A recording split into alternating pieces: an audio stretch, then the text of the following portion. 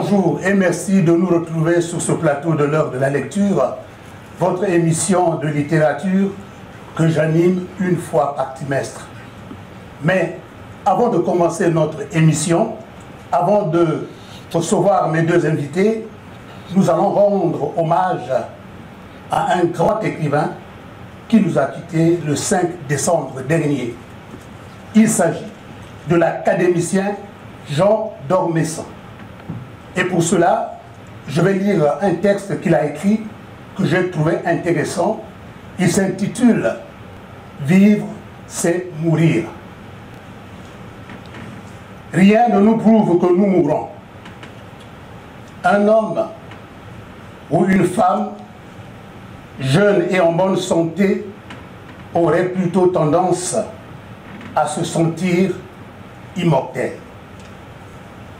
Par une sorte de miracle évident et le plus souvent passé sous silence, à cause de son évidence même, chacun de nous pense et agit comme s'il n'allait jamais mourir.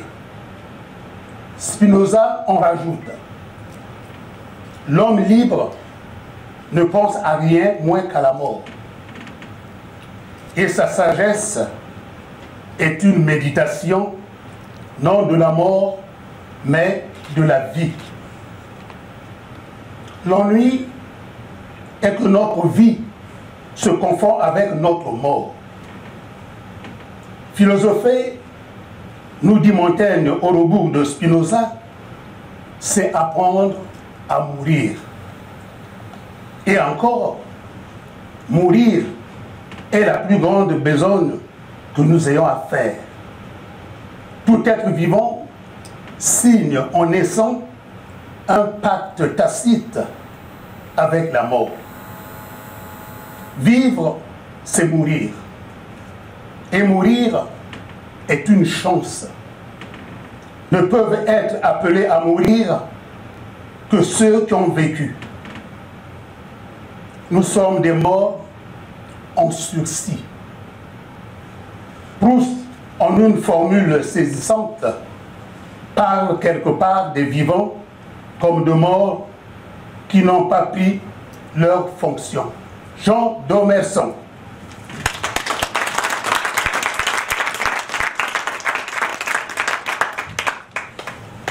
Et après ce moment de tristesse, maintenant nous allons nous détendre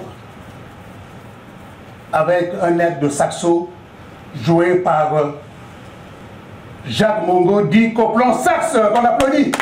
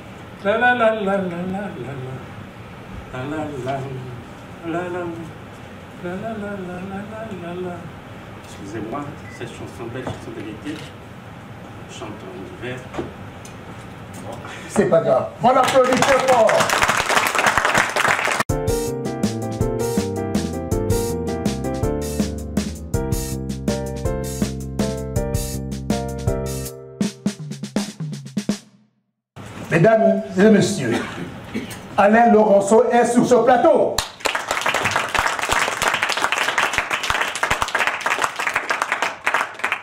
En face de lui, Léa Jourdain.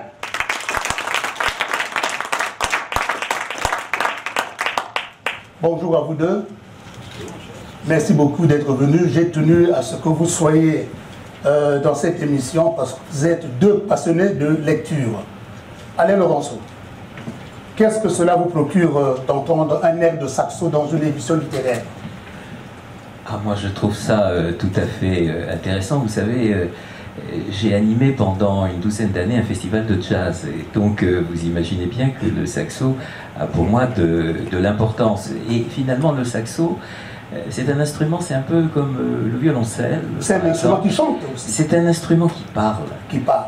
C'est un instrument qui a quasiment les mêmes sonorités que la voix humaine. Donc voilà, voilà pourquoi, oui, bien sûr, j'aime le saxo. D'accord. Donc nous sommes déjà dans la rubrique L'invité du jour. Et M. Alain Laurenceau, vous êtes comédien, oui. auteur de plus de 20 pièces de théâtre. Vous avez joué et chanté à la Fénice de Venise. Mais vous m'arrêtez si je raconte des conneries. Hein. Au printemps de Bourges, au Festival de Milan et au Festival d'Avignon. C'est bien ça? Oui, oui, tout à fait. Bon, vous êtes aussi metteur en scène de plusieurs pièces, je vous vois. Vous avez aussi créé le Festival de jazz, de théâtre, et vous animez des ateliers théâtre pour adultes. Oui. Vous intervenez dans de nombreuses lectures, c'est bien ça? Tout à fait. Vous êtes écrivain, vous avez publié en octobre 2015 ce recueil de monologues de, qui vous de monologues aux éditions libraires, librairie théâtrale de Paris. C'est bien ça, monsieur? Tout voilà. à fait. Donc, vous êtes à la fois comédien, écrivain et euh, comédien, écrivain, metteur en scène. Metteur en scène. voilà. Mais par quoi avez-vous commencé? Est-ce que c'est la mise en scène qui vous a conduit vers euh, l'écriture ou l'inverse? Euh, je, dirais que euh, j'ai d'abord été plutôt assez fasciné par, par le spectacle en, général. J'ai vu, étant, étant enfant, j'ai vu des, spectacles et j'avais été, notamment c'est une petite anecdote, j'avais été fasciné parce que un jour, mes parents m'avaient emmené voir euh, un spectacle et puis je ne sais pas pourquoi, mais en passant, en sortant, j'avais eu un, un œil qui avait aperçu les coulisses et dans les coulisses, il y avait un des comédiens qui enlevait une fausse barbe, je pense, et j'avais trouvé ça extraordinaire. Et, et, du coup, je me suis dit, mais voilà un métier fantastique où on peut trouver euh, des axes très différents dans sa vie. Je me suis pas dit ça avec ces mots-là étant enfant, mais c'était euh, c'était un peu ça. Et puis après, ben, j'ai eu l'occasion euh, de monter sur une scène pour chanter dans une chorale, dans, dans des groupes, tout ça. Et je crois que ma première apparition sur scène, dans une pièce, elle s'est faite à Melun, puisque je suis originaire de Melun. Et j'étais euh, au lycée euh, Jacques Amiot et j'ai joué dans les fourberies de Scapin. Euh, et, et, donc, euh, voilà. Et puis ensuite, j'ai pris des cours à Paris avec un, un, comédien qui était de la comédie française à l'époque. Et puis, j'ai joué, j'ai eu envie de faire de la mise en scène et j'ai eu peut-être ensuite Ouais, mais ça, ça, tombe bien, ça tombe bien Alain Laurenceau. Mais qu'est-ce qu'un metteur en scène? Quel est son rôle? Alors, le rôle du metteur en scène, ça c'est une question difficile. Euh, en fait, je crois que le metteur en scène, il a plusieurs fonctions. D'abord, c'est, je dirais que c'est un peu un pédagogue, puisque finalement, il a, il, il a pédagogie vis-à-vis -vis des comédiens, pédagogie vis-à-vis -vis des spectateurs, puisque finalement, il prend un axe de la pièce et il essaie de le présenter et de, de faire en sorte que ça soit quelque chose de compréhensible et d'intéressant. C'est quand même le but.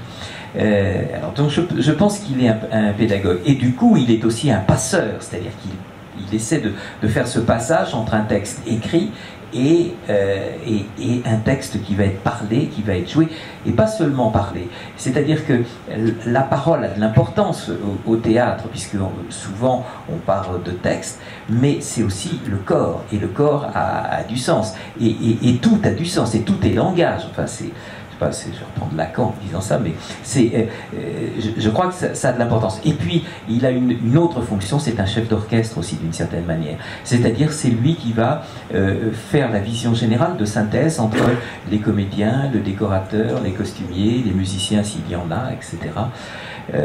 donc voilà, rapidement, hein, vous me posez des questions comme ça, ex abrupto, mais c'est bon, c'est un peu ce que je répondrais sur le metteur en scène. D'accord, merci beaucoup. Alors, Léa Jourdain, vous êtes au cinéma, au théâtre, euh, vous faites aussi la lecture, vous êtes sur tous les fronts. Et vous, vous connaissez un peu Oui, euh, on se croise. voilà, exactement. Mais qu'est-ce qui vous a plu chez Alain Laurenceau, qui est si loin de votre génération? Euh, Moi, ce qui m'a beaucoup touché chez Alain Laurenceau, c'est sa voix, avant tout sa voix, parce qu'il a une voix magnifique une présence magnifique aussi sur scène. Pour euh, l'avoir vu euh, voilà, dans des lectures euh, musicales et aussi dans une, création que, j'ai adorée à Barbizon où, ils ont joué dans la forêt de Barbizon dans la nuit des musées. j'ai adoré l'idée et, l'originalité en fait de, ce type de représentation. Euh, voilà. Enfin, on sent que c'est un chanteur aussi. Et euh, ça, ça se sent dans les lectures. Donc c'est un artiste complet, on peut dire ça Oui. D'accord. Bien, euh, vous êtes comédienne? Si. vous êtes comédienne. Enfin, merci beaucoup. Léa Jourdain, vous êtes comédienne. Bon, la première formation, vous l'avez eue à à l'université Sorbonne Nouvelle Paris 3 et actuellement vous êtes à Paris 8, c'est bien ça? Oui. Bien.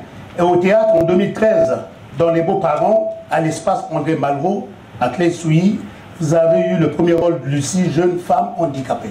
C'est ça. Et en 2015, dans Atali au théâtre du Nord-Ouest à Paris, d'après la pièce de Jean Racine, vous avez joué le rôle de jeune fille de la tribu de Lévi. Oui. C'est ça aussi. Et toujours en 2015, avec la pièce d'Alfred de Musset, le Rosanciao, vous avez fait le tour de Paris. Et le rôle, c'était le petit Salviati et Crabière. Oui. Et toujours en 2000, non, là maintenant nous sommes en 2016, donc comme en 14, avec Bruno Méru, le rôle de Louise. Et maintenant, jusqu'au, disons jusqu'à l'année prochaine, 2018, vous êtes au théâtre du Régnier. Oui. Là, donc, dans les feux de poitrine, avec Stanislas Roquette, le rôle c'était celui de l'adolescente. Oui. Et en 2017, avec Magnella, sénateur dans le Festival Move, vous avez joué le rôle de clown. Oui, dans la rue. D'accord. Qu'est-ce que je remarque? Il y a la multiplicité de rôles. Vous changez de rôle au fur et à mesure. Est-ce que c'est vous qui choisissez les rôles ou bien on vous impose? Je pense qu'il y a les deux. Après, euh, il y a forcément ma jeunesse qui joue beaucoup. Oui. Le fait que je sois petite. Euh, donc on a tendance à me donner forcément euh, des rôles d'enfant. de petits garçons aussi, ça m'arrive. voilà. au fur et à mesure, je grandis, donc forcément, tout d'un coup, je deviens l'adolescente. Bon, peut-être un jour, j'aurai la jeune femme, et puis un jour, la mère, et puis peut-être la grand-mère, et voilà. Mais c'est après, ce qui est beau, c'est euh, dans la carrière, je pense, d'un comédien et d'une comédienne, c'est ça, c'est qu'au fur et à mesure de l'âge et, euh, et, des étapes de la vie, on change de, catégorie de rôle et on a la chance comme ça de d'évoluer, en fait. Bien, maintenant au cinéma, en 2016, vous avez tourné un court métrage avec Pierre Richard pour la pièce Petite éloge de la nuit de Gérard Garouti avec le rôle de jeune fille mutine. Maintenant, en ce qui concerne la voix, vous avez eu une formation pour la voix off, mais que vous ne pratiquez pas. Pas pour l'instant, pas pour l'instant, mais euh, c'est toujours euh, dans mes objectifs.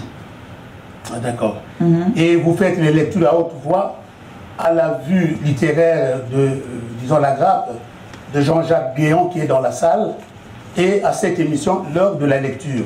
Ça tombe bien, concernant la voix. Mais comment peut-on bien travailler sa voix? Léa Jourdain. Euh, Il y a plein de techniques. Il y a beaucoup, beaucoup, beaucoup de techniques euh, différentes. Après, euh, chaque comédien a ses particularités. On a des corps différents, on a des voix différentes, on n'a pas les mêmes besoins, les mêmes qualités, les mêmes défauts, et les mêmes qualités dans les défauts. Disons que moi, de plus en plus, j'aime travailler à l'extérieur. Euh, voilà, et euh, c'est en fonction aussi des besoins du, du, du produit. Par exemple, je le vois en voix off, euh, ayant une voix très jeune et très vite dynamique, euh, qui, parle dans- euh, qui part un peu dans les aigus, voilà, très souriante, voilà. On a tendance à m'inviter à plutôt poser ma voix dans les graves, avoir de l'autorité, parce que forcément, quand on parle dans un documentaire, on va pas parler comme ça, hein, parce que sinon ça serait un peu bizarre. Donc euh, voilà, il y a plein de. Après, il y a des jeux d'articulation, il y a le Il faut chant respecter aussi le débit, il y a tout ça. Oui, oui, oui. Ah, Dans le cadre de la voix off, il faut être régulier euh, et endurant. Mais maintenant, en ce qui concerne l'oralité, comment travailler l'oralité? Pour travailler l'oralité. C'est pareil, euh, c'est-à-dire que hum, ça dépend, ça dépend ce qu'on fait. Euh, un enseignant va travailler euh, l'oralité d'une certaine manière, un comédien aussi, un avocat aussi, euh, un étudiant qui se présente et qui veut faire une présentation de sa thèse, il va forcément avoir une Un oralité animateur de différente. aussi, c'est Un pas, pas la même chose. Non, c'est pas la même chose. Donc il faut, c'est comme tout, il faut savoir s'adapter. Donc euh, c'est pour ça qu'il y a autant de techniques et de, et de cours différents et euh, d'approches différentes. Bien, chers téléspectateurs, maintenant nous allons passer à notre deuxième rubrique, l'auteur et son œuvre.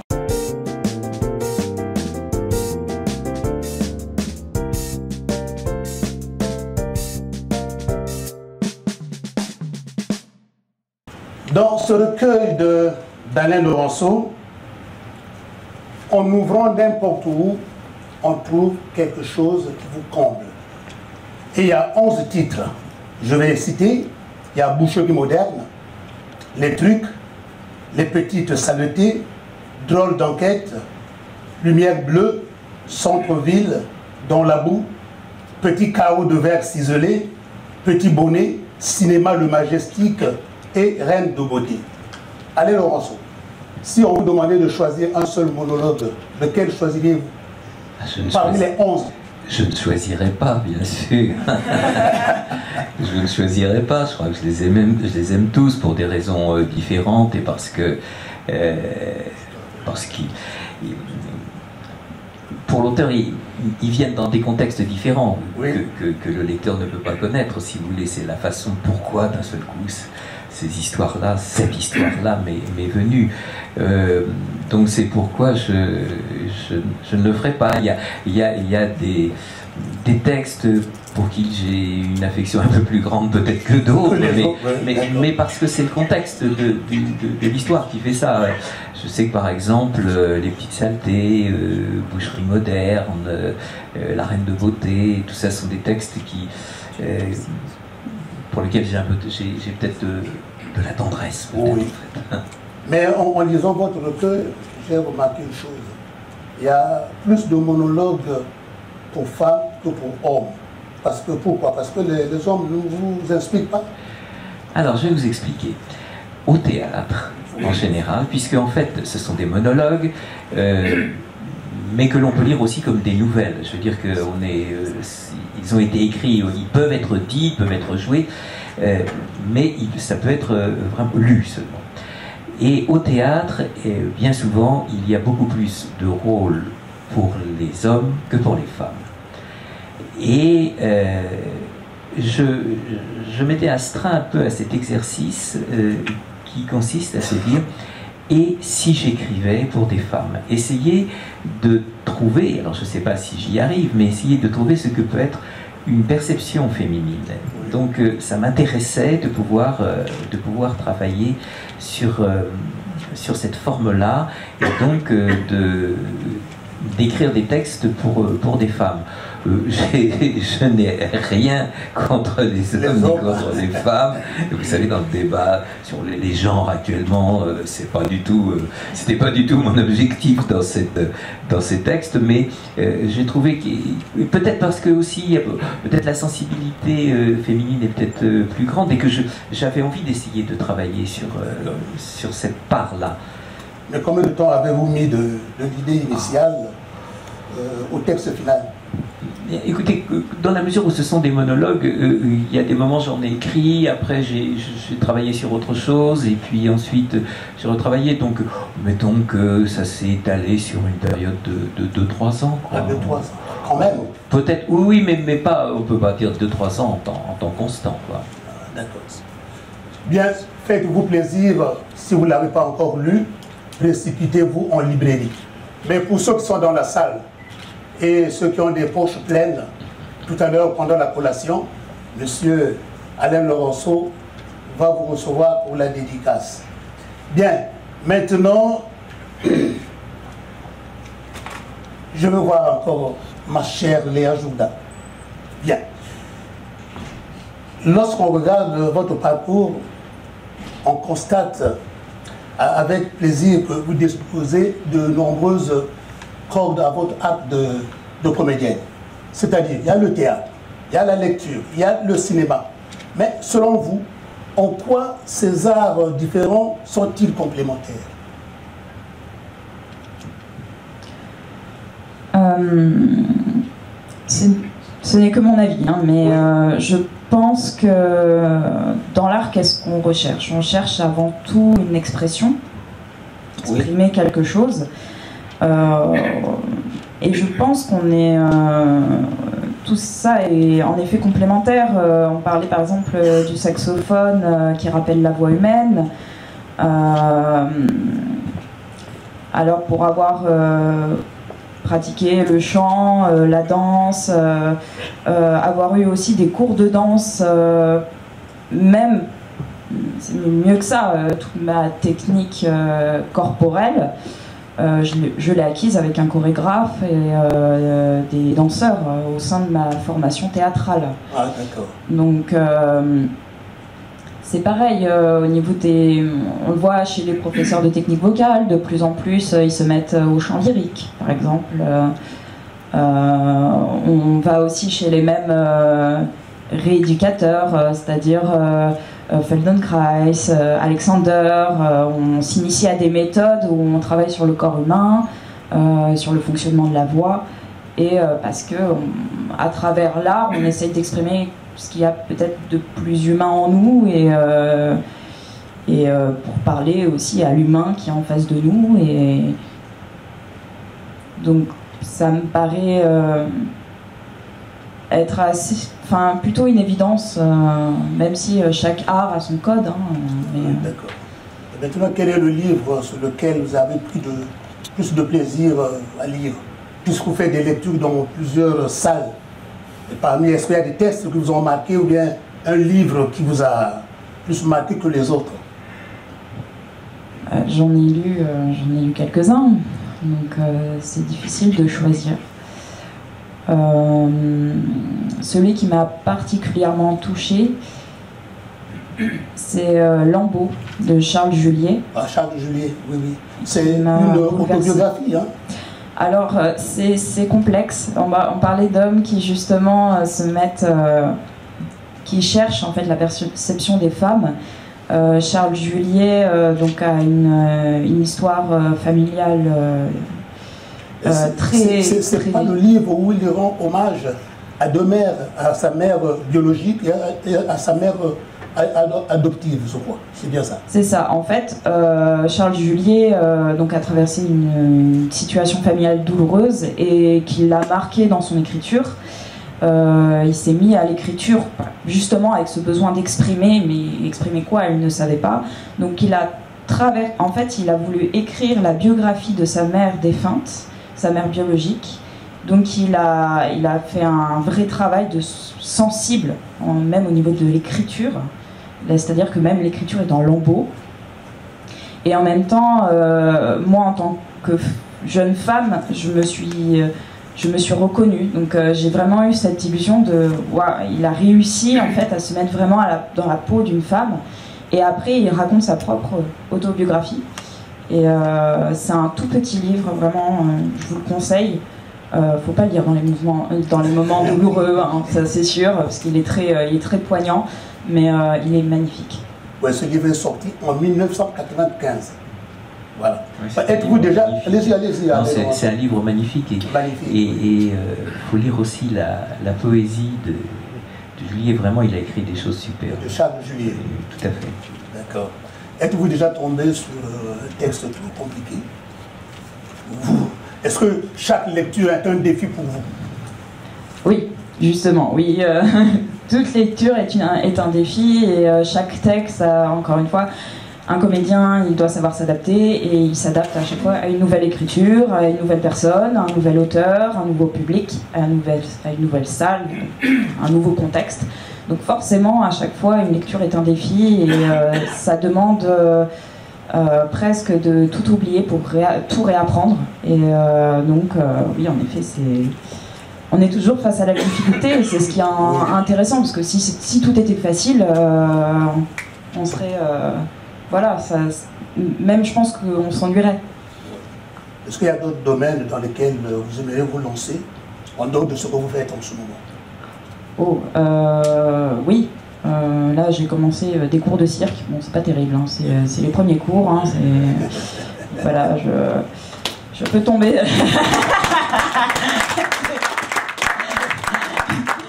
m'entendent, Fratelli, ils vont, ils vont rigoler. Belle voix, Léa Jourdain. La radio, la radio ne vous tente pas euh, oui, oui, oui, pourquoi pas, euh, pourquoi pas euh, la radio, euh, les audiolivres, euh, les voix off, ça, tout ça, ça, ça, ça, voilà, ça, ça dialogue. Donc j'aimerais bien, oui, en effet, réussir à, à, rentrer dans tous ces milieux-là.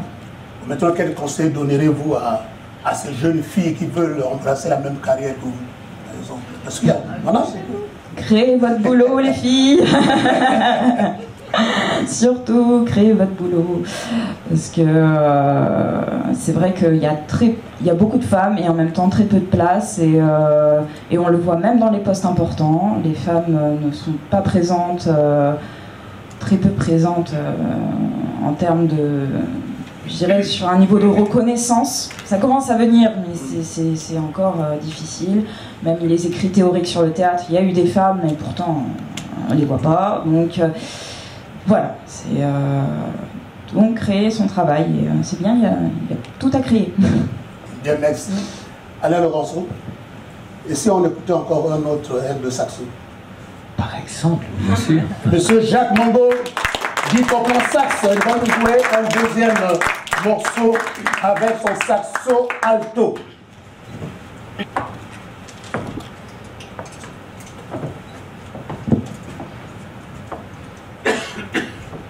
Thank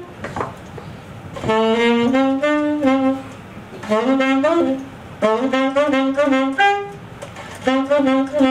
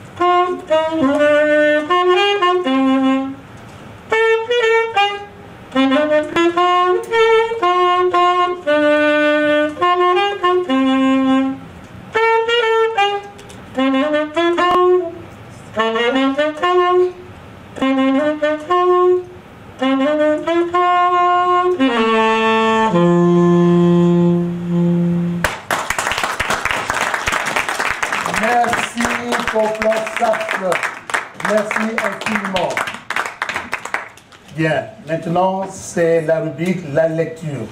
Comme le nom de notre émission l'indique, l'heure de la lecture, c'est la lecture.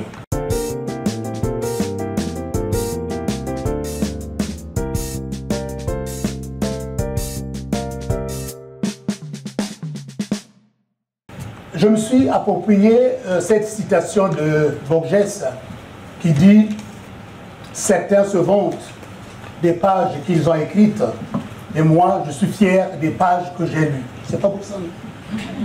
Euh, Donc nous allons lire, mais nous, nous sommes des passeurs. Nous sommes là pour lire ce que les autres ont écrit.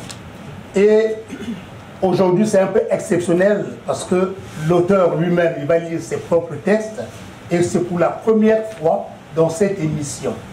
Donc, Alain Laurenceau, ainsi s'ouvre votre monologue, les trucs dans votre voix.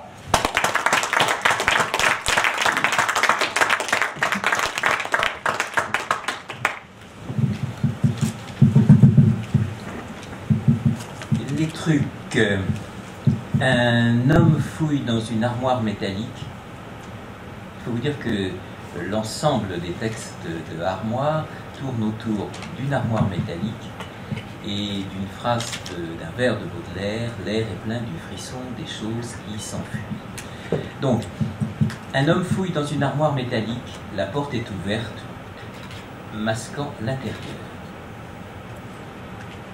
Chaque fois, c'est la même histoire. Les trucs me passent dans les mains, ça m'arrive dans les doigts, je les tripote, je les malaxe, les tourne et les retourne, et je les engloutis même dans ma cervelle, et puis hop, deux jours après, c'est le vide. Les trucs, je, je ne sais jamais si je les ai mis ici ou là, ou plutôt là qu'ici. Alors je m'assure, je, je tempête, je tonitruc, mais, mais franchement, ça sert à rien. Euh, ça, on peut le dire. Du coup, méthodiquement, je déplace tout. Enfin, méthodiquement, vous voyez ce que je veux dire.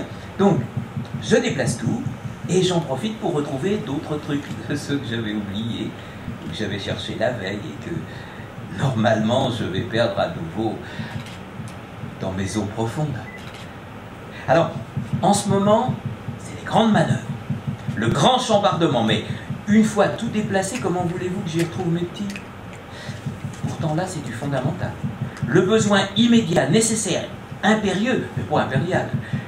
Pourquoi est-ce que je dis ça, Bon, tant pis. Mon gars, pas de. Tu vas encore t'apitoyer sur toi-même, te maudire ou t'adorer.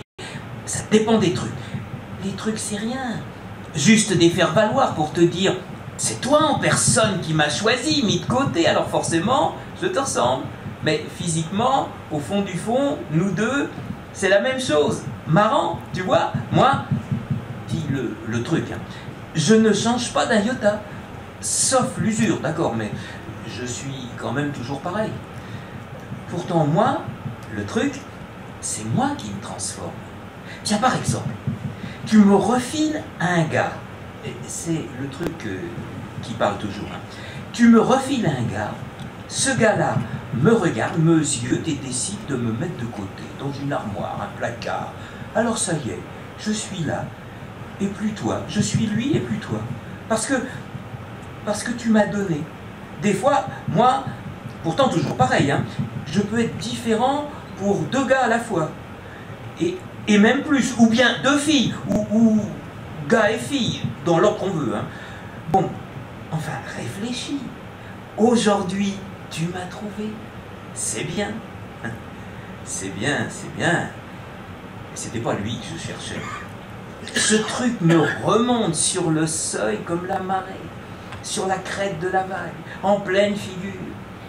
Tu demandes le corps du naufragé et tu récupères la coque du bateau. Et la coque retourne dans ta tanière. On te sifflera à l'occasion. Attention, pourquoi est-ce que j'aurais mis ce truc là-dedans? Question, hein? Mais question sans réponse. Ici, l'ici ou le là, avec moi, c'est pareil. Tout est bon pour y fourrer des souvenirs et du coup les tenir enfouis, mais sans préméditation. Oui, j'ai dit souvenir parce que un truc que tu connais mais que tu ne vois pas, que tu ne vois plus, c'est un souvenir. Ça n'a plus de consistance dans l'instant où tu y penses. Ça se mêle à tout, même aux vrais souvenirs, les authentifier. Par exemple, tu penses à un amour passé, une fille qui s'est quittée de toi ou toi d'elle, enfin au choix, tu te dis je l'aimais et tu y penses et tu penses à quoi?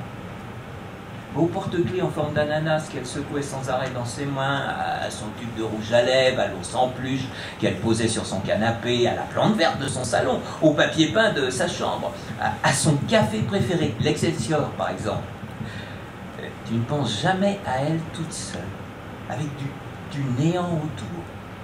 Impossible. Tu ne penses jamais à elle toute seule. Tu penses toujours au cadre. Un cadre bien net, ou un peu secoué, mais un cadre qui l'enferme, comme un cadre de tableau.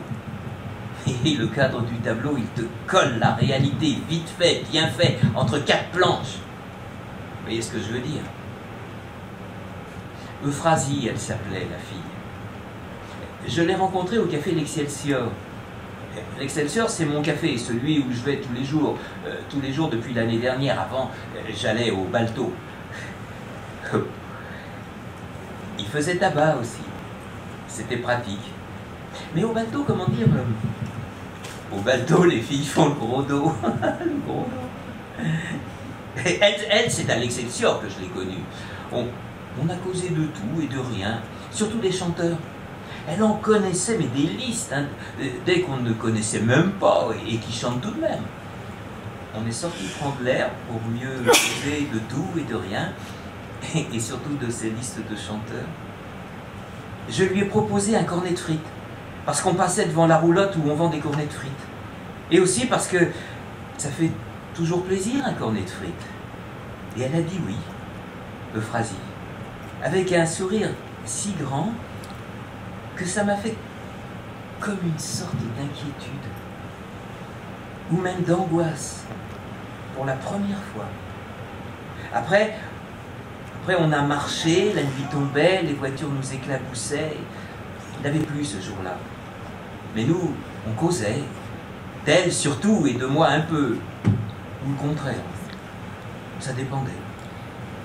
On, a causé jusqu'au passage à niveau euh, qui traverse l'avenue Foch les barrières étaient fermées, on s'est regardé, et là je l'ai embrassé quand la Micheline est passée, pour noyer notre premier baiser dans le cahotement des wagons sur les rails. Et là, j'ai eu comme une angoisse pour la deuxième fois.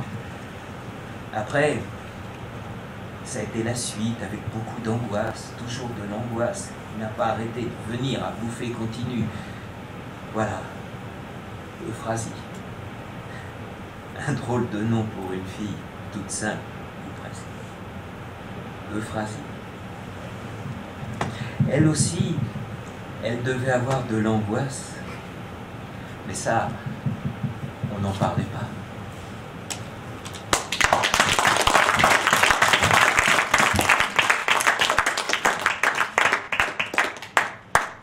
Merci Alain Laurenceau une voix attentive lorsqu'on vous écoute et une plume attentive lorsqu'on vous lit. Pour qui écrivez-vous, Alain Laurenceau Si vous voulez, la, réponse facile, c'est de dire j'écris pour, pour le lecteur, mais j'écris aussi pour moi. Euh, c'est évident, j'écris peut-être aussi pour les personnages qui sont dedans, qui sont des personnages euh, de fiction. Euh, on, écrit, c'est difficile parce que c'est quoi un lecteur, comment est-ce qu'on peut se le représenter J'ignore tout. Même un spectateur, si c'est si joué, je ne sais pas, il y a des gens très différents, mais euh, on écrit quand même pour essayer de, de toucher quelqu'un, de toucher des gens, de, que les gens repartent avec une avec quelques, quelques semences où vous nous racontez dans ce monologue les trucs, parce qu'il y a cette notion d'armoire où nous gardons nos secrets, nos histoires historiques. On y met aussi beaucoup d'affect. Oui, absolument. Mais justement, euh, l'armoire, enfin, si vous voulez, ce qui m'intéressait, c'est que une armoire métallique, ça, c'est ce qu'on voit dans les vestiaires, dans des choses comme ça, c'est, quelque chose qu'on ne regarde pas, qui est banal, qui est même totalement banalisé, et qui peut renfermer euh, beaucoup de secrets, peut-être de jolis secrets, peut-être de, de, de tristes secrets, mais qui, rempère, qui, rend, qui, qui est rempli par, euh, par beaucoup de choses qui, qui ne peut-être ne parlent qu'à qu'à une seule personne.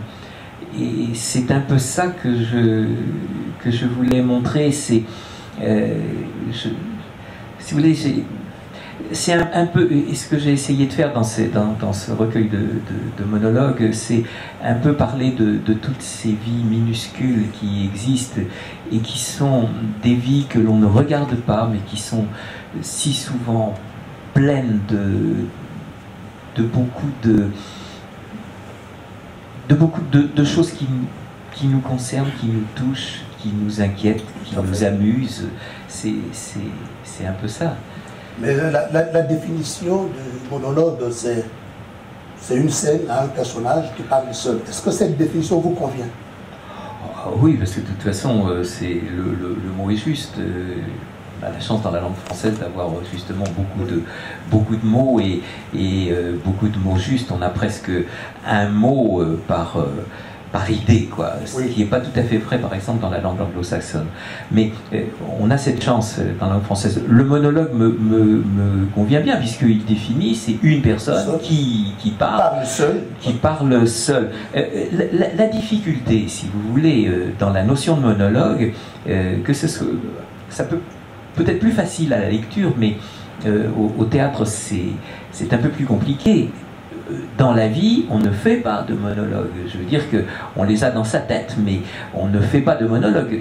Faire une adresse au public ou, parler comme ça sur une scène, c'est quelque chose qui est euh, qui fait partie de la convention du, théâtre que en général on accepte, mais qui ne correspond pas à une véritable réalité. Justement, Alain Laurenceau, est-ce que ces monologues peuvent être joués au théâtre? Est-ce que c'est envisageable? Absolument, absolument. Si quelqu'un dans la salle veut les monter, je suis tout à fait d'accord. Merci. Euh, à présent, nous allons écouter euh, une dame. Elle envoûte de sa voix le, disons, le, le silence muet profond dans toutes les salles où elle est passée. Elle s'appelle Léa Jourdain. Alors, euh, Léa Jourdain, qu'est-ce que vous allez nous lire? Reine de beauté, de beauté d'Alain d'Alain Laurenceau. Laurenceau Donc le dernier monologue.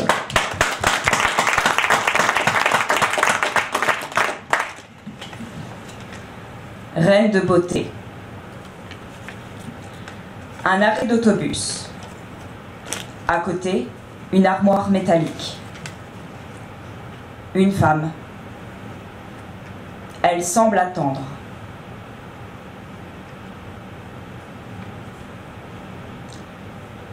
Tire-toi, je lui ai lancé.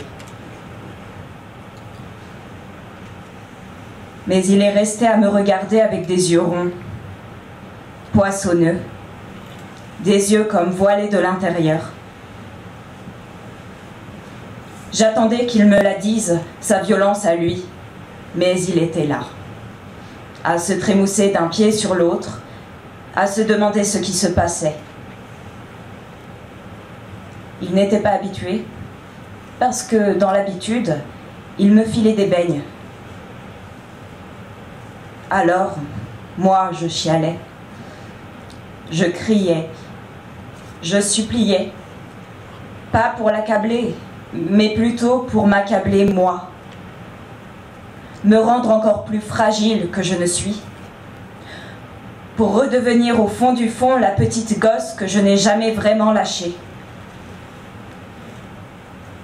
Lui, dans son complet de mariage, il l'avait mis ce jour-là, mais sans la cravate, parce qu'il devait aller chez sa mère.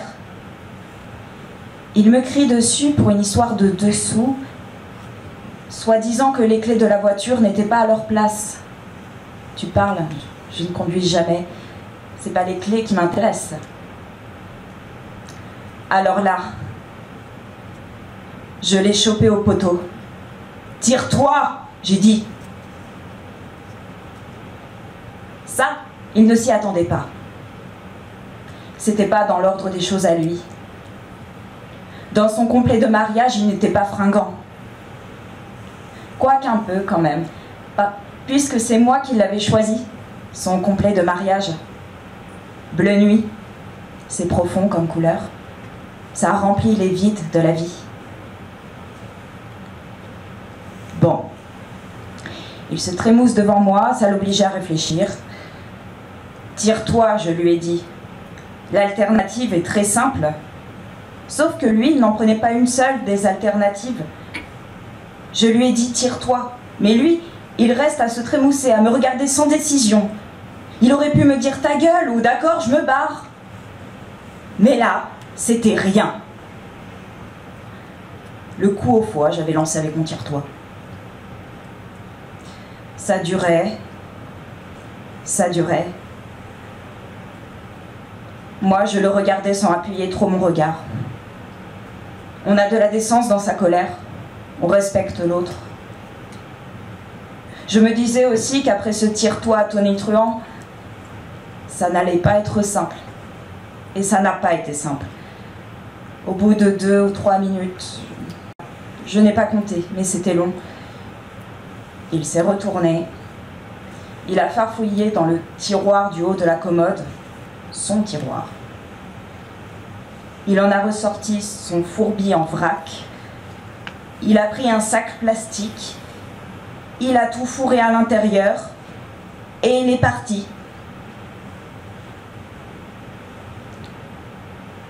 J'ai attendu.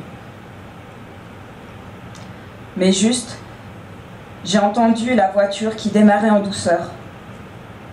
Pour une fois qu'elle ne renaclait pas l'allumage. Tire-toi. C'était trop fort, ça c'est sûr. Mais qu'est-ce qu'il y a de moins fort à dire pour, pour secouer l'autre? En fait, pour dire de rester, mais différemment. Tire-toi, c'était pour lui dire change un peu, pas pour du définitif. Qu'est-ce qu'on y gagne dans le définitif?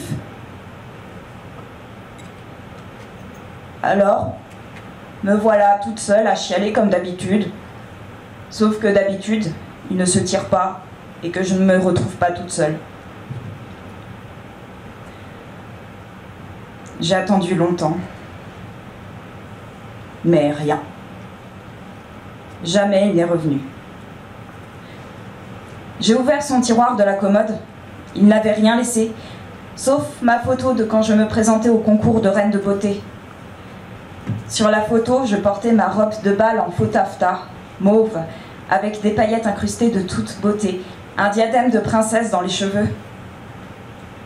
Ce que je pouvais être belle, tout de même. Lui, il me le disait tout le temps. Il aimait me voir dans les concours. Après, il m'emmenait boire des limonades, mais je n'en buvais pas trop parce que ça fait grossir. Il me souriait sans trop de mots à me raconter. Les mots, ça n'a jamais été son fort. Il me guignait de l'œil, ça, je le voyais bien. Mais je faisais comme si j'avais le nez en l'air. Il le savait. On faisait tous les deux semblant de ne pas savoir. C'est ça une rencontre. Moi, je me disais, avec lui, je ne serais pas toute seule. J'avais peur de rester toute seule, parce que les reines de beauté, des fois, ça leur fait peur aux hommes. Lui, il sirotait son guignolet Kirsch. Un vieux truc que buvait son père, paraît-il, tout en me regardant et en me disant de temps en temps que j'étais belle. C'est vrai que ça ne faisait pas une vraie conversation, mais je me répétais que c'était un début. Et puis, belle. C'est un petit cri agréable à entendre, un petit sourire derrière l'oreille. Même si c'est trop dit et redit, quoique ça ne veuille rien dire, le trop dans un cas comme ça. Tous les dimanches, il venait assister au concours de beauté. C'est après un concours où j'avais été élue deuxième dauphine que je l'ai rencontré. Il rôdait devant l'entrée du cinéma où ça se passait. Le Lido Palace. Sans doute qu'il avait été émoustillé par l'affiche, mais il ne me l'a jamais dit. Il m'a juste raconté qu'il passait par là et que, émerveillé en me voyant sortir de la salle, il m'avait demandé si j'avais du feu. J'avais ri, parce qu'une reine de beauté, ça n'offre jamais du feu.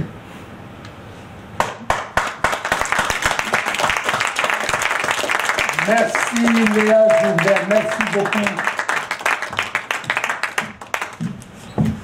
Alors, ma chère Léa Joubert, quand on vous voit lire, on remarque cette aisance, cette facilité à vous approprier le texte. D'où vous vient cette confiance? Du travail. Du travail. Euh, Ah oui. Du travail. J'ai pas autre chose à ajouter. Allez, Laurenceau. Bien. Quand elle dit, cette dame dit tire-toi, elle le dit sous l'effet de la colère. Oui, je crois que son, compagnon euh, est un, un peu un triste personnage quand même. Et donc, euh, elle lui dit euh, Tire-toi parce que, parce que euh, la vie est sûrement difficile pour elle et qu'elle ne- ne le supporte plus beaucoup, même si elle- elle l'aime. Mais en même temps, c'est sûrement un. euh, oui, il y, a, il y a un moment de colère sur le moment de dire Oui. ça, parce qu'en fait, elle va passer tout son temps à essayer de, de le faire revenir. Quoi. Euh, Et l'homme ne revient jamais. non. Ensuite, il y, a- il y a une phrase. Il y a une phrase, Alain Laurenceau, que je vais dire. Je vous cite. C'était pour lui dire change un peu. Pas pour du, dé- du définitif.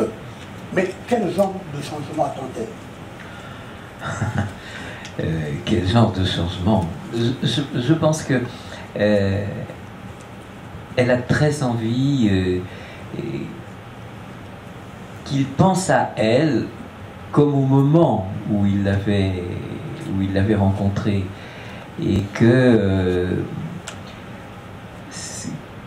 qu'elle ret- qu'elle retrouve cette, euh, cette impression qu'elle avait pu qu'elle avait pu avoir euh, à, à ce moment-là, parce que euh, finalement, une fois euh, le passage de la séduction euh, par, euh, par cet homme, euh, euh, lui, il est passé à autre chose et il est retombé dans une vie euh, un peu euh, tristement quotidienne et tristement d'une- grande banalité. Euh, vous savez, c'est finalement le, le fait pour elle de faire euh, d'être reine de beauté, de participer à ces concours, sûrement un peu minables, un peu, un peu tristes, mais finalement, euh, c'est comme des, les petites fugues que l'on peut avoir dans la vie et qui, et qui nourrissent, euh, qui nourrissent notre, notre âme, qui nourrissent notre, tous les éléments qui nous façonnent. Est-ce qu'elle regrette cet acte Oui, elle, elle, elle le regrette, oui, elle, va le, elle le regrette, mais est-ce que c'est est -ce c'est un vrai regret? Alors là, il faudrait lui demander. Et puis, euh, il y a un passage que je trouve assez remarquable. Je vous cite. Il m'avait demandé si j'avais du feu. J'avais ri, parce qu'une reine de beauté, ça n'offre jamais du feu. Donc finalement, pour elle, l'image de reine de beauté, c'est quelqu'un qui est un peu inaccessible. Oui, il y a ça. Y ça aussi. Bien évidemment. Euh, je pense qu'elle euh, qu'elle extrapole son image euh, à celle que l'on peut voir dans, sur les revues en papier glacé, etc., de certaines stars de cinéma. Donc, je veux dire qu'elle elle projette sûrement un, certain nombre de choses qu'elle n'est pas, mais qui lui permettent de, de- remplir sa vie. Et, là, d'un seul coup, sa vie, on lui dit, bon, pas grand-chose. Bien, merci beaucoup. À présent, nous allons faire venir notre lecteur maison. Ce monsieur, il fait vivre le texte et il fait aimer l'auteur. Quand vous allez l'écouter, vous allez l'entendre, vous avez envie de connaître l'auteur. Il s'agit de Christian Kolbe.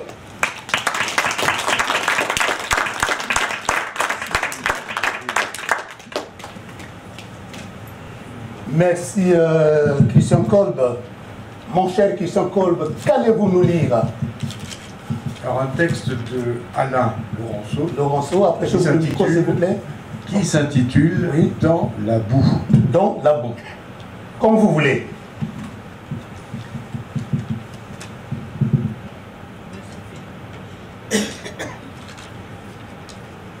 Un homme se tient debout, une petite valise à la main. À côté de lui, une armoire métallique. Il regarde les lieux sans bouger, visage neutre. Il parle pour lui-même.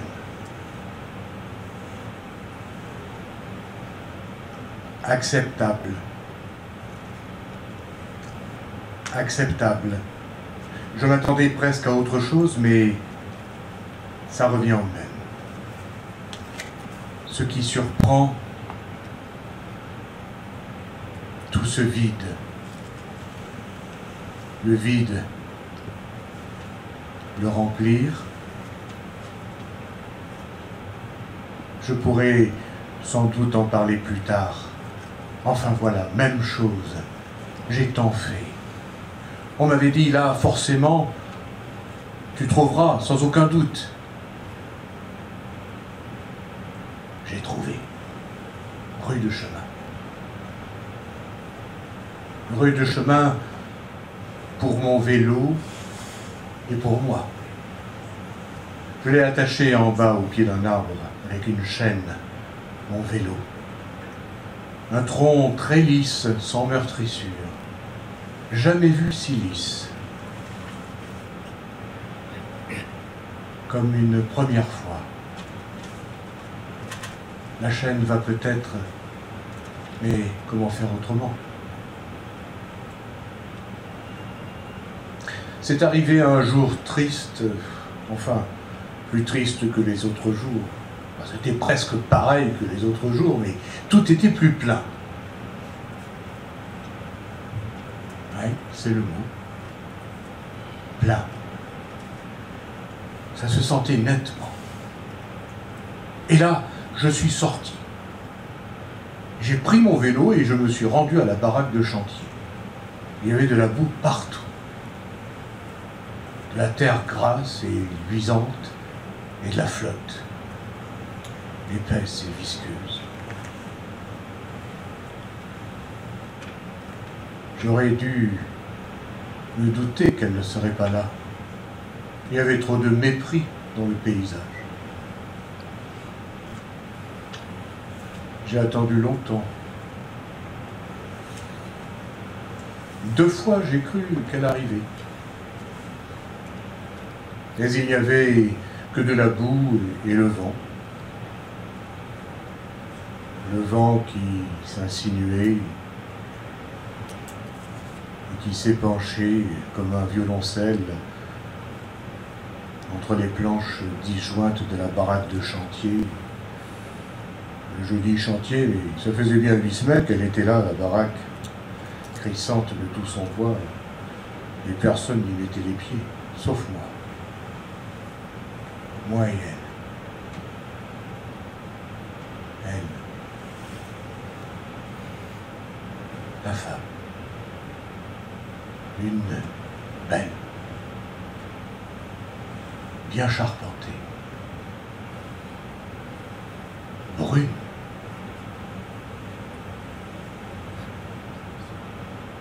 Cette baraque, on l'avait remplie de nous deux, comme du chez nous. Un chez de glace et de cendre, mais tout de même. Elle venait là depuis un mois, moi aussi. Au début, forcément, on ne se connaissait pas. On se regardait patauger dans la boue, on était là à se renifler pour se sentir la peau, et on s'en retournait dans l'ailleurs. Moi, je savais où j'allais, mais elle ne se parlait pas. Juste un signe de tête pour l'aménité, c'était tout. Du banal et du sauvage à la fois. Mon vélo, je le posais contre les planches disjointes de la baraque. Du moins au début, après c'était plus possible à cause de la terre grasse et de la flotte visqueuse qui s'accumulait, trop d'efforts. Et puis j'ai utilisé une petite remise à ferraille que j'avais remarquée du côté du sud, à 100 mètres à peu près. Et il y avait même un anneau pour attacher l'engin. Pas du solide, mais ça faisait mon affaire. Elle, je ne sais pas. Pas de vélo, rien. Elle venait. C'est tout. Un jour, on a parlé de la terre grasse, de la terre d'homme.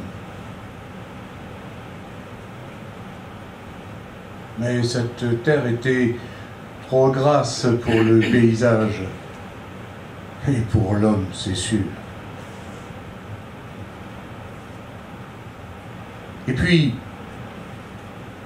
on s'est lancé à la volée des coups d'espoir à se laisser pantelant. On s'est rué dans nos corps, s'accotant à tous les recoins de la baraque. Contre les planches disjointes à peine écarées et dans le plein de la fatigue. On s'est jeté sur le plancher raboté, vidé de nos cris, de nos outrages, de nos histoires. Sur le plancher raboté, jeté là, sans souffle, mais plein d'ivresse. C'était doux. La boue pénétrait à peine, juste des lambeaux avant-coureurs, pour tâter le terrain. Elle, la femme brune de cheveux et de peau, elle n'avait pas un vrai nom. C'était trois, quatre sons à peine bien agencés, que j'avais pourtant du mal à assembler. Mais c'était des caresses qui nous donnaient lieu de vocabulaire et nos corps de syntaxe. Dans la baraque de chantier, toute vide, vide de tout, comme ici, avec la même armoire métallique qu'ici. Ouais. Une armoire métallique, comme l'unique bagage de cette foutue baraque de chantier qu'on avait déjà dû poser sur des centaines de terres grasses. Elle avait l'air de se foutre de nous, cette armoire métallique, droite, comme le cou de ces putains de cygnes sur les lacs noirâtres de ces putains de jardins publics que je ne fréquente plus depuis belle lurette, à cause de tout cet ordre qu'on veut vous faire éclater à la gueule à grand renfort de parterres, de poubelles, de jets d'eau, de fausses rocailles, de gardiens à bicyclette, d'interdiction de pelouse et de tout le reste. Pareil. Même vide. Je trouve qu'il n'y a rien de plus sinistre que le vide obscène qui s'étale et se vautre plein de suffisance. Nous, la baraque de chantier vide, on l'avait transformée en sanctuaire. Un véritable sanctuaire, avec son décor, ses parfums et ses leurs. Elle embaumait le désir. Elle protégeait les lèvres et la peau qui s'abîment, les regards qui se crucifient. La parade de chantier, posée là, au milieu de la boue gluante. Parfois, je m'extirpais, j'ouvrais la porte histoire de vérifier la présence de mon vélo, toujours accroché à son anneau. Alain Laurenceau.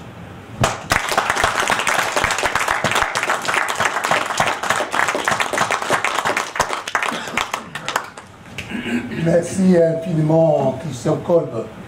Vous nous réapprenez à lire, hein, franchement. Je, je voudrais euh, féliciter les deux, Ah oui. les deux lecteurs. Oui. C'est vraiment très bien, puis d'entendre son texte comme ça.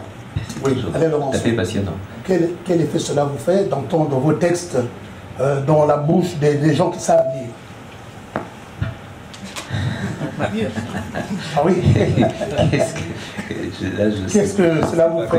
Oui, de- bah, c'est, c'est toujours euh, très et, et en même temps passionnant et intimidant. Enfin, c'est, c'est tout ça à la fois, quoi, de, de- d'entendre euh, des choses euh, que l'on a mis déjà dans sa tête, parce que finalement, je les ai lues dans ma tête aussi. Euh, et, et c'est, c'est très, c'est, c'est très surprenant. C'est vrai que moi, je, je les ai déjà dit, euh, mes textes, vous savez, je suis un peu comme, quand j'écris, je suis un peu comme faisait Flaubert, toute comparaison gardée, euh, qui utilisait le gueuloir, c'est-à-dire qu'il criait ses textes pour voir si ça fonctionnait. Moi, je fais un peu la même chose parce que j'y suis, euh, je suis assez sensible à la sonorité des, textes, peut-être parce que je suis aussi comédien et que ça, on le ressent, et je pense que pour les gens qui viennent de lire, c'est des choses qu'ils doivent ressentir, de voir si le son global, la musique de, de ce que l'on a voulu dire puisse, puisse passer. Ça me semble, pour moi, c'est pour moi c'est important. Oui, ce sont des professionnels. Mais Alain Laurenceau, dans ce texte qu'on vient de suivre, cette rencontre entre ce monsieur et cette dame dans une baraque de chantier, c'est un lieu éphémère, hein, un lieu sans vie, on peut dire. Est-ce que cette rencontre était programmée ou bien c'est c'est tout juste un hasard? C'est c'est un lieu improbable, j'aurais tendance à répondre. Euh, c'est un lieu improbable, c'est euh, partout et, nulle part. Vous savez, c'est Alfred Jarry qui disait euh, que ça se passait nulle part, c'est-à-dire en Pologne. Mais c'était, c'est un peu ça, c'est un lieu, c'est un lieu improbable. Mais en même temps, si vous voulez, ce qui me semblait important, c'est que euh, ce, ce lieu euh, euh, fait de briques et de broc, enfin, qu'on va transporter, où il y a de la boue un peu partout. C'est en même temps, c'est une île, c'est une île qui va, qui va euh, protéger, qui va être le, le sanctuaire, c'est ce que j'essaie de dire, d'une passion. Et, et en même temps, j'ai mis cette baraque de chantier. Curieusement, souvent, elles ne sont pas comme ça, mais il y a du bois, parce que je trouve que euh, dans le bois, il y a ce côté raboté, mais il y a aussi les échardes, il y a aussi tous ces éléments-là. Et je trouve que euh, pour moi, c'est assez proche de ce qu'est la vie, avec euh, tous les éléments qui peuvent exister dans une, dans une passion, c'est-à-dire tous ces éléments qui nous. Qui, qui, ra- qui rabotent nos vies, qui en font, qui en font quelque chose de, de- de fort et qui. Et dans ce lieu improbable, dans, dans le. Vous savez, dans, le, dans un texte précédent euh, que- qui a été lu, c'est. dans les trucs, on, on dit, euh, le personnage dit, mais moi je me souviens toujours de la personne de, de mes amours, mais c'est le porte-clés, etc. et Sans le, sans le cadre. Et finalement, là, on a le, le cadre fait corps avec la passion. Et Alain Laurenceau, euh, il y a encore euh, cette phrase qui m'a fait bondir. Ah oui, c'était les caresses qui nous tenaient lieu de vocabulaire et nos corps de syntaxe. Donc finalement, leur sentiment était fort. Ah, je crois qu'il était sûrement, euh, très très fort. Euh, cette relation était, très forte. Ces, ces moments où euh, les mots ne suffisent plus. Et c'est pourquoi tout à l'heure on, évoquait le, fait, de, dire, de dire un texte. Et, je, je trouve que quand on dit un texte, il y a les mots, mais il y a aussi euh, l'implication du corps. Oui. Il y a toute l'implication du, corps qui, euh, qui, existe et, le, corps c'est du langage, toute l'expression du corps c'est du langage. C'est vrai qu'on a eu un peu tendance dans toute, la, dans toute une partie du, 20e siècle, enfin pour moi du début du 20e siècle et même dans le théâtre avant, la, voix, la voix tenait lieu uniquement de spectacle.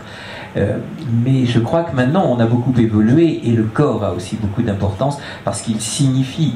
Et je pense que euh, lorsqu'on dit un texte, et, là c'est ce qui a été fait aussi, les moments de silence sont, sont, importants.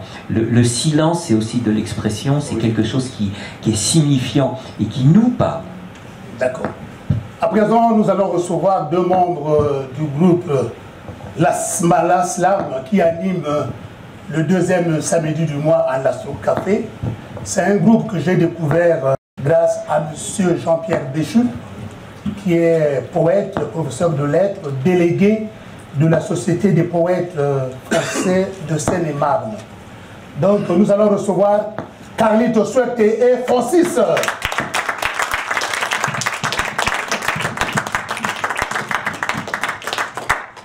Donc euh, Carlito Suerte va nous lire un poème. Il sera accompagné à la guitare par Francis. Les deux membres du groupe La Slama Las Malas, Las qui joue le deuxième samedi de chaque mois à l'Astro Café. Dans le corps de madame, il y a le malin qui tente, et cette belle ardente de son charme m'enflamme. Dans le corps de madame, il y a des câlins qui dorment, je me jette corps et âme pour caresser ses formes. Dans le corps de madame, il n'y a pas de frein aux ardeurs, pas de manière ni de drame masqué par sa pudeur.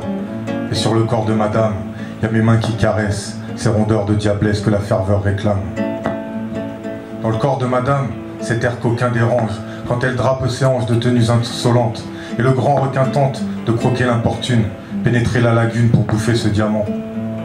Puis voyant la cohue qui dans son cœur subsiste, la belle en vain l'évite pour faire partir l'intrus. Puis cette Ève s'écriant dans un bruit de trompette, referme ta braguette, j'ai déjà un galant.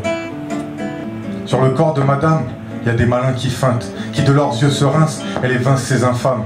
Et ils tournent en transe, ces abeilles affolées, dans le fond défoncé, pardonner leurs offenses. Cette horde de fous que l'esclandre attire, garderont après tout un joli souvenir. Alors, ils essuieront leur bave en terminant leur bière.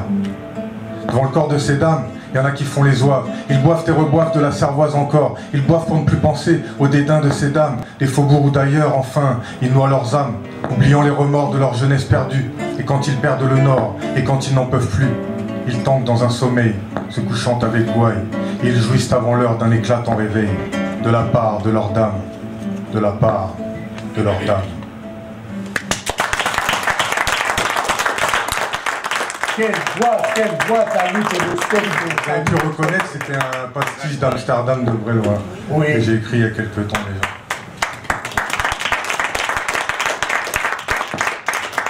Francis. Francis à la guitare. À la guitare, Carlito Sorte, c'est lui qui a lu le poème. Depuis un certain temps, ce groupe est devenu partenaire de cette émission, L'heure de la lecture. Et c'est là où je vais lire de temps en temps, le deuxième samedi du mois, on se retrouve là-bas pour euh, une bonne lecture. On est toute une bande de poètes, une quinzaine à peu près, et ça fait dix ans qu'on euh, joue à l'Astrocafé, enfin qu'on déclame nos poèmes. Et euh, là, on va changer de lieu à partir de janvier. Ça sera à l'Envie, c'est un bar qui est euh, dans le nord de Melun. Donc voilà, tous les deuxièmes samedis du mois, vous êtes invités si ça vous chante. Sous vos applaudissements Allez, merci beaucoup avant d'arriver à, à la fin de notre émission. La dernière rubrique, les nouveautés.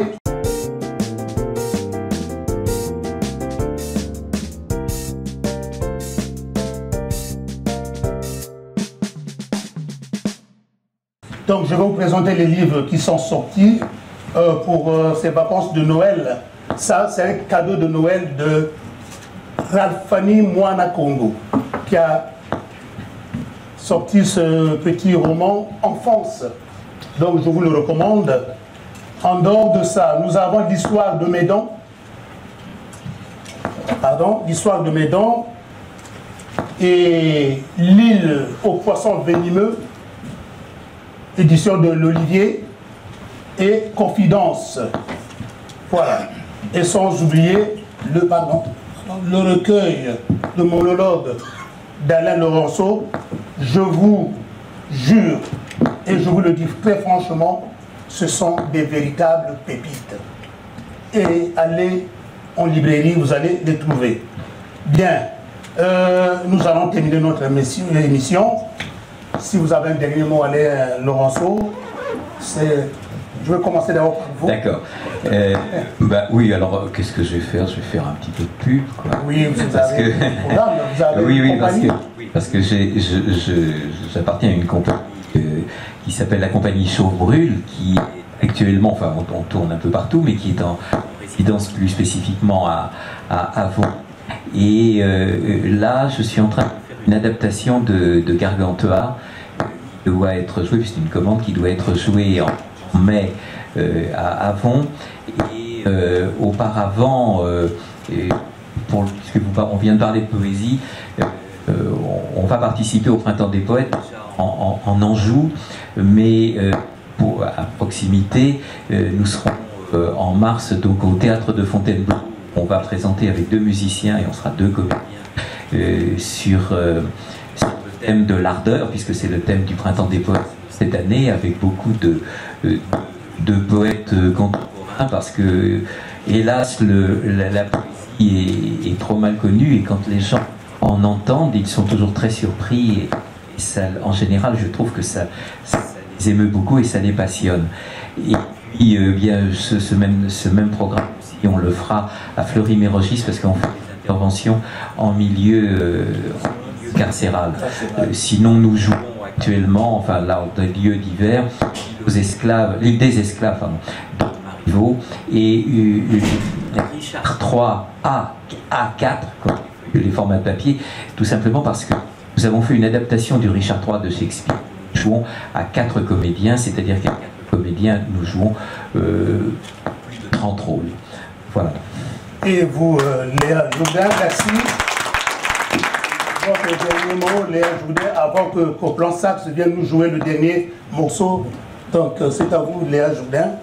Bah, moi aussi, je vais faire de la pub.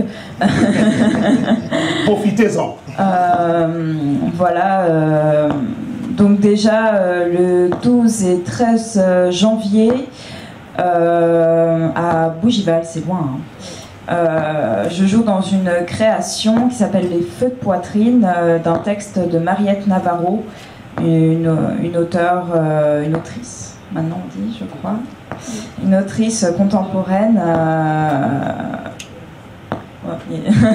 contemporaine qui, voilà, qui, qui est formidable. Et c'est une pièce sur la fête et qui tourne autour du bonheur, ce qui est assez rare dans l'écriture. Euh, voilà, j'en profite aussi. La, revue La Grappe aussi devrait sortir euh, prochainement euh, un nouveau numéro. Donc n'hésitez pas à surveiller. voilà. Merci beaucoup. Moi, je vous souhaite une très bonne carrière. Bien, chers téléspectateurs, nous arrivons à la fin de notre émission. Merci de l'avoir suivi. Merci d'avoir euh, rendu hommage à la lecture et joyeux Noël.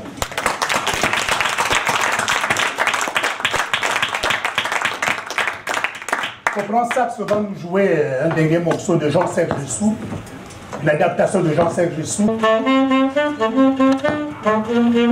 Allez tout le monde.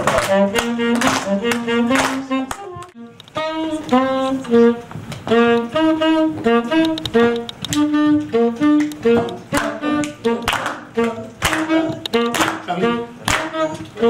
you.